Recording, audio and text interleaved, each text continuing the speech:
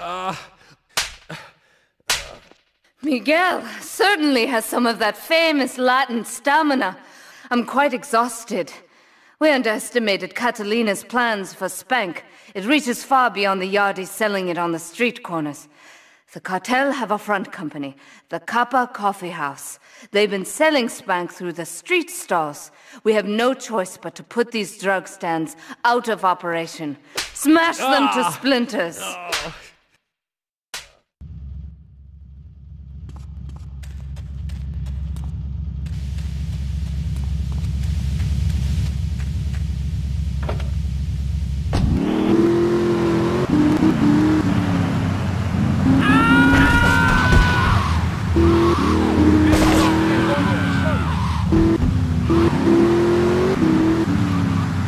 I've